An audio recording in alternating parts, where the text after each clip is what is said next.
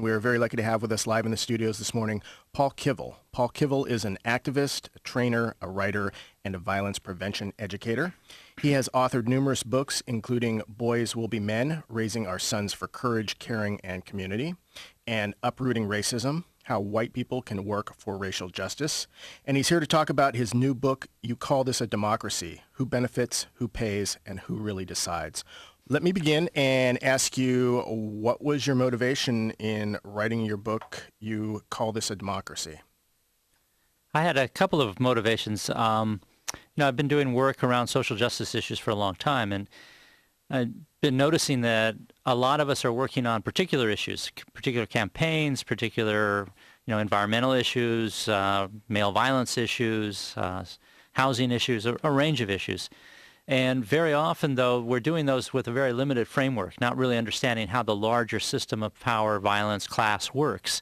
And so we we do those, we do that work without building a long-term understanding in the community about what the struggle is really about. The, the fact that we do have a ruling class and a power elite, and that um, these issues are interconnected, and we have to be working together, seeing how our issue connects to other issues uh, you know, in the history of this country, we have the kind of a myth of democracy that it's a democratic country, uh, there's equal opportunity, that everybody has, you know, it's a level playing field. Uh, we don't even have a vocabulary for talking about, you know, the, the, the phrase ruling class doesn't roll off our tongues very easily.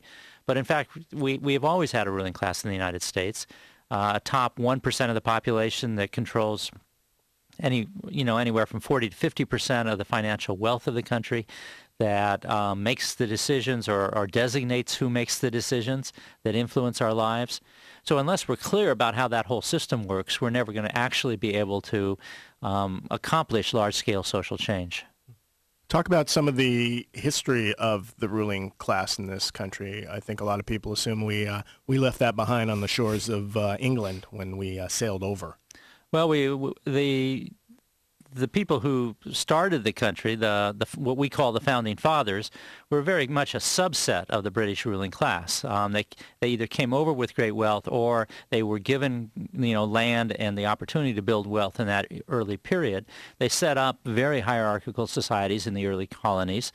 Um, they were an elite group. There was um, you know the Constitution. Then they wrote the Constitution for themselves um, basically. Um, they said that only rich white men can vote.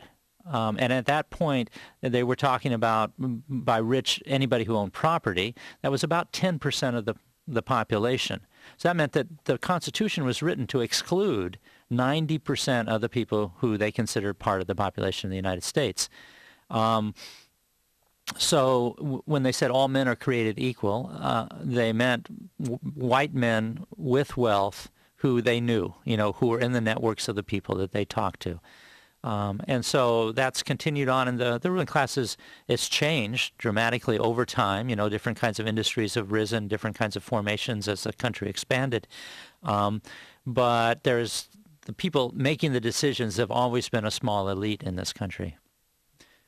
Now, what happened originally, um, and I think this is a really important piece, was that the, the, the ruling class, the, the men who were rich and powerful, were also the direct decision makers because it was a small enough society that they actually also ran the, the businesses and the farms and the plantations and, and the, the, the slave industries. And, um, you know, as the country grew, um, there needed to be still people in charge, but there was a much larger ruling class. So that 1% of the population expanded, um, and there began to be more of a concentration of, today we have about 7 to 10,000 white uh, Christian men predominantly who are in the top of the run the corporations, the political offices, the, the criminal justice system, the foundations, the think tanks, the cultural institutions, and, and though that smaller group is really a, power elite, they're the ones that make the decisions to the benefit of the ruling class. So would these be the people that are on the boards of large corporations, for instance? Some of them are on the boards. Um, more often, they're the, the, actual directors, the CEOs of the major corporations. They're the um, tops of the political parties. They're the ones who are running the foundations and think tanks and um, major cultural institution, major media companies, things like that. Um, so, you know, and below them, there's a whole class of people who are really the managerial class, the next, what I would call maybe about the 19, next 19% of the population. Uh, they don't have nearly the wealth or the, the power, um, but they carry out the, the, the management of those institutions. They're the just below the top rungs. They're the ones that are actually the day-to-day operations, really. So those two, you know, if you look at the ruling class and the managerial class together, they own uh, most of the financial wealth of the country. And so together they really are the owning classes. And that's 20% of the population. The rest of the, the, the other 80% of us um, are really dividing up only about 9% of the financial wealth of this country. That's how extreme the inequality is, is becoming in the United States. Talk about the tools that these people, the power elite, use to keep themselves in power? Well, I think the, the three basic tools they use, um, one is the Constitution itself, which was set up to protect private property, to protect wealth, to keep to set up an electoral system that again made it much easier to influence political decisions. Um, um, so the the second tool, the major tool, is the corporate the corporation itself, which was really became a major factor in the uh, late 1870s, 80s, 90s, be, um, and really is the what what we see in our communities. That's the visible decision-making body that comes in and drives out small businesses, moves manufacturing overseas, puts toxic waste in our communities, as the previous program was was talking about.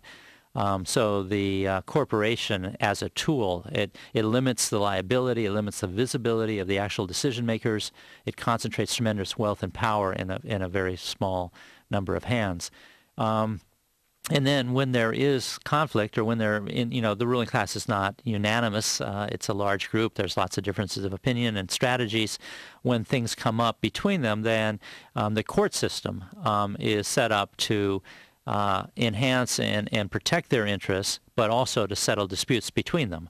Um, and so the courts, uh, well, we saw that in the 2000 election where um, the courts stepped in and uh, it was basically a decision between two ruling class white Christian men about who was going to be president. Um, and I'm not I'm not saying that there's no difference between the, the, Democrats and Republicans, but they are both ruling class parties, and they both share much more common interests than they than they than they don't. And the court stepped in and decided which one of them was going to be uh, president. Some people would say this view of a ruling class is very uh, conspiratorial. You know? Well, it's not in, in, in a couple of, of senses. First of all, uh, eight, nine, ten thousand people don't sit in a dark room in the back of the office, you know, making plan over smoky tables, um, making you know plans to take over. First of all, they they are public. Um, everything, not everything they do is legal, but they are working through legitimate channels, legal channels, uh, public um, channels. Um, they're they, m- many of them know of others. Um, they're in common networks. Um, they travel in certain places. They vacation in certain places. They go to certain conferences. They they read the same media, um, and so there's a common culture. But a lot of them don't know each other.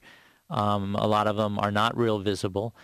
Um, so it's it's no by no means a conspiracy, but it is an elite. It is a powerful network of, and, and when I say predominantly white males um, and predominantly Christian, there's a few women, there's a few people of color, there's a few Jews and, and other non-Christians, but primarily the culture and the, the dominant backgrounds and genders uh, are white male Christian in that in those networks. We can see some of them in the government. Um, you know, people like Dick Cheney and Karl Rove and people like that who are the, the power holders in the in the government. Um, and we can look in various other places in the society, and you know, some of them are very visible. Some of them are very, you know, keep very low profiles. And they do that by choice. I, I assume so. Right. Talk a bit about more again of the. Uh the infrastructure and the different tools that um, the power elite would use to keep themselves in place. How about the media? What is their role in all this? Well, uh, the power elite are, are the ones at the top of the media corporations, really. Um, and many of the media corporations are actually larger multinational corporations that have media arms at this point. Companies like GE, for instance, things like that. Um, but um, the media has been consolidated. It's monopolized by a very uh, six or seven major multinational corporations. Um, the power elite is very much at the top of making decisions and making sure that what people hear is consistent with the messages that they want people to hear, one of which is that there really isn't a ruling class, that, that really is, you know, there's equal opportunity, and if you don't succeed, it's your own problem. Um, and then, of course, the corporations themselves are money generating, so the money comes goes to the ruling class um, out of our pockets. Um, so it's, but it's not just the media. Um, the ruling class has a, a, whole vast network of, of, think tanks to develop policy, of foundations to fund the think tanks. Foundations themselves are just a tool to avoid paying taxes to the government, to keep control of that money, um, and then to sponsor and pay for the projects that benefit that class. Um, so there's there's you know there there there's a lot of institutions that are part of the network of how power is maintained. The lobbying industry is another arm of how um, the ruling class and the power elite influence public policy decisions. So the media fits in, you know, is, is interwoven with many of those aspects. And then the the other thing is that there's many ways that they actually keep their money, and protect their money, um, and so some of that is through um, uh, laws around corporations, rules and regulations. Some of it's around public policy around taxes, um, investing, um, um, tax dodges, tax havens, um, uh, tax policies that lower corporate tax rates or lower individual tax rates. Or um, we've seen in the last 40 or 50 years tremendous shift of, of tax burden onto working and middle class people and away from the ruling class as tax rates have come down, um, estate taxes, corporate taxes, personal income taxes, capital gains taxes. In fact, just this week, we've seen another round of shifting money more and more concentratedly into the hands of the ruling class. Well, so it kind of begs the question then, what can, you know, regular people do to combat this? Well, I, I, think there's a lot of things that, that people are doing. Um, people are organizing constantly, and a long history of, of organizing um, for economic justice and for racial and gender justice. And, and, and um, we wouldn't have an eight-hour working day. We wouldn't have a 40-hour working week and a weekend. Um, we wouldn't have unions if people hadn't organized at great cost over decades to win some of those gains. Uh, we wouldn't have civil rights. Um, so it people are constantly organizing. I think the, the, one of the main keys, though, is this: it's not about what we do individually; it's how we hook up with other people um, in larger communities, in larger organizations. Because the ruling class is very organized. They may be split on many issues, particularly social policy issues like abortion rights or um, gay marriage or things like that. But when it comes to their economic interest, they're a powerful example of how people come together um, strategically across many kinds of differences to protect their interests. And I think that's one of the reasons why it's so important that we understand the economic framework is because we often get divided um, among ourselves because of differences in, in political interests and strategies and, and, and we get divided by race and gender and sexual orientation. And so unless we have a larger picture of the long-term struggle, we continually are less effective in terms of really pushing for large-scale redistribution of wealth. Well, in, in getting back to the media, a lot of people aren't uh, really aware of when when talks about media, you immediately think of, let's say, radio and television and newspapers. But for instance, things like book companies that produce the very textbooks that are then integrated in schools is uh, one aspect of conveying ideas to a culture. Right. And I think that that's part of what uh, obviously we're not meant to, to see is that these the largest media corporations are they're not just a TV or movie company or a book publishing company or a cable company um, or a magazine company, but most of them control many different aspects of media, and so the consolidation is is much more dramatic and severe than most of us can see in our day-to-day lives because the names it's like going into a grocery store and you see you know 10,000 products on the shelves and you see 50 varieties of cereal. Well there's two or three cereal companies that have given you the illusion that you can buy any of their many different products and they're they're really different products and they're really different companies. But in fact behind that is a tremendous concentration of wealth and power and the media is the same way on the cover of your book, you call this a democracy. You have a really intriguing illustration of, uh, of the power elite and different organizations, well, different structures that it interacts with. Another one of those, in addition to, you'd mentioned foundations and corporations, but one of them you have here is elite universities. Would you talk about that? I think that that's uh, one important piece of the whole project. Um, as the um, ruling class, you know, and many of the ruling class kind of step back from direct um, control of major corporations as the corporation world became much more complex and sophisticated.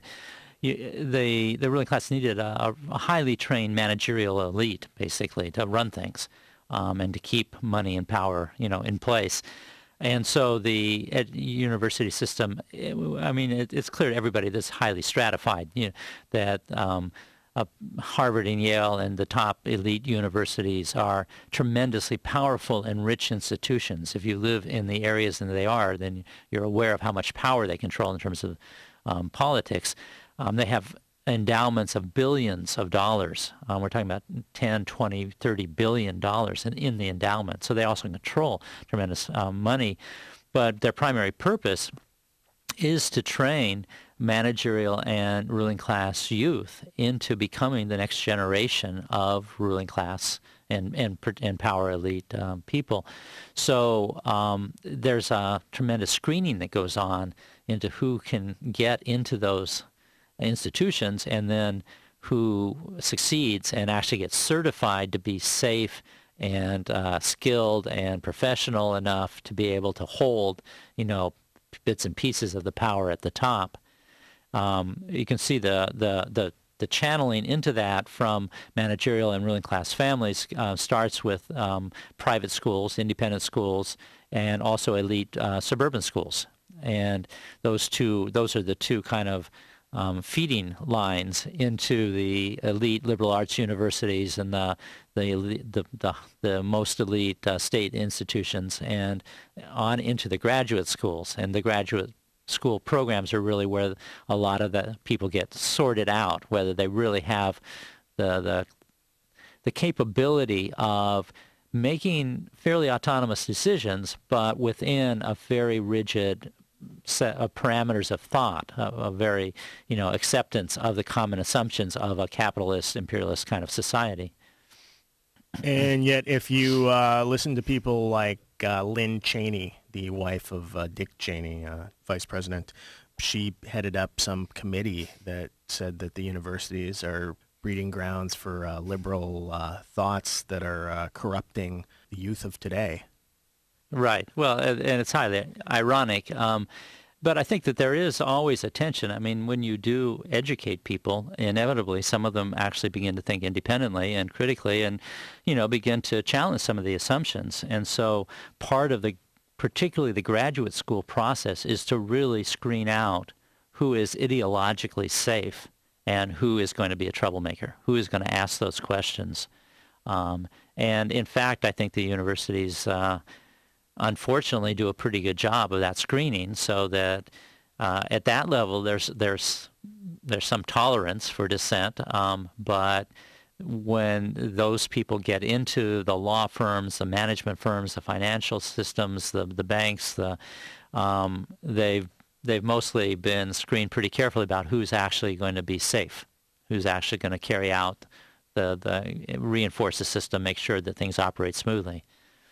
And sticking again with the universities as an example here, you can see a trend, at least in my lifetime, where public universities are their funding is getting cut. They're becoming much more dependent on private donations, much more dependent on corporate contributions. Do you see that as further feeding this uh, system?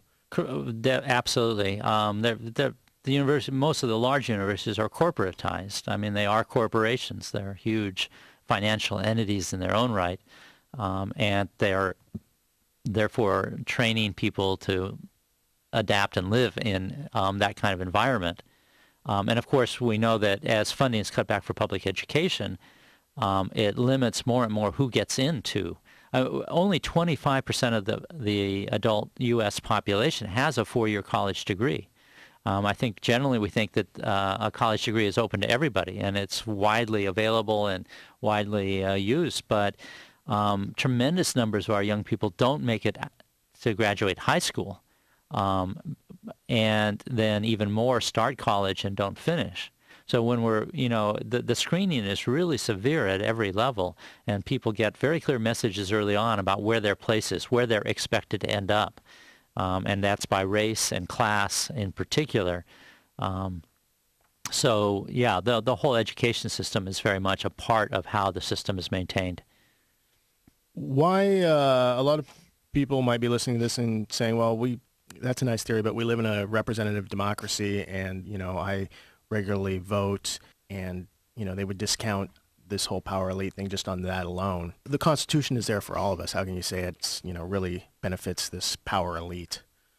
Well, I think that you know that's that's the, the, the myth. That's the ideology we have that that it is democracy. But i think that if you look at the decisions that get made not the political process but the decisions who decides what we eat who decides what our neighborhoods look like who decides where we work and how much we're paid and what the conditions are those are not uh, those are decisions that are made by the corporations in our communities. Um, and if you look at who makes those decisions, we don't vote on that, right? When was the last time you had a vote about, you know, whether there's genetically modified food in your in your soybeans or corn?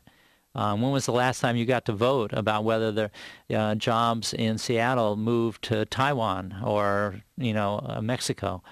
Um, so we have to look at d- democracy. If it means anything, means making decisions about issues that impact your life. And in almost any respect we can look to in this country, those are not decisions that you and I are getting to make. Um, we actually don't even get to determine who our political representatives. As symbolic as that is, even there, when you look at what it costs to be a candidate in major elections and where that money comes from, um, even a, a, contribution of $1,000 to a candidate is a huge contribution.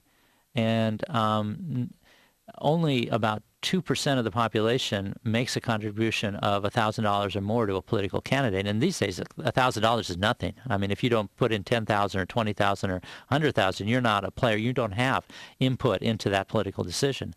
So the and, and, and on top of that, the candidates themselves are mostly very rich especially uh, senators, representatives, it's not only that they have to raise all this corporate money and therefore be beholden and make decisions back to those corporate sponsors, but they themselves end up putting a tremendous amount of their own money in because you have to have that kind of uh, money to run. So um, there, there's very little substance behind the myth of democracy in this country. Um, it's really like the Wizard of Oz, standing behind the screen. You can just pull the screen back a very tiny little corner, and you can see that there's nothing behind it. Um, and I think you know more people were aware of that in the last couple of elections, where there was even more direct, visible manipulation um, and disenfranchisement of a large number of voters. But I think it's been true all along, and, and we need to not just fix the small pieces of the system. We need to fix the larger system, pieces of that system. Uh, and uh, again, I think that the, the subtitle of my book um, is Who Benefits, Who Pays, and re- Who Really Decides. And I think that that's a key. Those are the questions we have to constantly be asking because we're fed all kinds of misinformation from our textbooks to the daily news to the, the, the weekly news magazines. The, the only way to get underneath that is to be asking who really is benefiting from these decisions. However they're framed, who's going to end up with cash in their pocket? Who's going to pay? Whose pockets is the money going to come out of? And who's really making the decisions? And if we're honest about the who's making the decisions, it's not a democratic process. The other thing I think is really important is the democracy is much more than voting once a year or once every four years. That democracy is about participating, like I said, in the decisions that impact our lives. That means in our families. That means in our classrooms. That means in our workplaces. That means in our communities. And so we need to be building a culture, all of us, of democracy in our daily lives. Um, because it's a, it's a complete illusion that if we vote once every four years for a couple of rich white Christian men to whether which one is going to be president. Where even if we had a meaningful vote in that process and we had no democracy in the rest of our lives, we wouldn't be building the kind of communities that most of us want to live in. So there's a lot that we need to think about each of us in terms of how are we practicing democracy? How are we challenging hierarchy around us? How are we building processes um, in our, you know, local situations that um, gives us the practice of democracy, you know, so that we begin to get better at working together at you know if you think about the social movements in our history they came out of um, people sitting around in in groups in support groups in critical thinking study groups in um, many kinds of cooperatives and collectives and all kinds of democratic processes that were involved and people coming together and thinking about how to build uh, movements for social change. And so uh, one of our challenges today is to reclaim that democratic impulse and put it into our organizing in the community. All right, we're talking with Paul Kivel, and you are going to be doing a uh, workshop here in town on Monday. It's got limited seating, so people can reserve a spot for that through local organization Tools for Change. And their number is 329-2201. That's area code 206, 329-2201. Or you can reach them online at info at toolsforchange.org. Uh, Tools for Change is a tremendous local resource that helps people come together and look at these kinds of issues and develop common vision and strategies for really making a difference in their communities. Um, I also want to just mention that there's a lot of resources on my website, um, articles, exercises. We have a lot of uh, other books and curricula. Um, and that is just simply uh, www.paulkivel, P-A-U-L-K-I-V-E-L.com. So I encourage people to get in touch with me, um, get in touch with folks at Tools for Change, and to really think about these basic questions. Who benefits, who pays, and who really decides?